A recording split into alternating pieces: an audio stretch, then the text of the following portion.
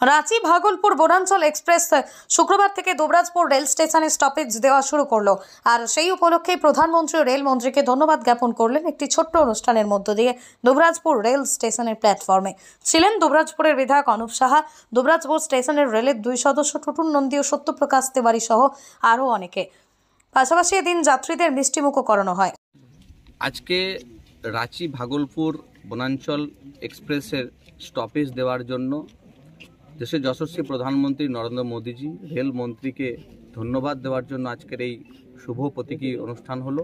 তো যাত্রী আছে, তাদের মধ্যে আমরা মিষ্টি বিতরণ করলাম এবং আমরা রেল দপ্তর দুবরাজপুরের মানুষের কথা কতটা চিন্তা করেন সেই বিষয়ে মানুষের সামনে তুলে ধরলাম।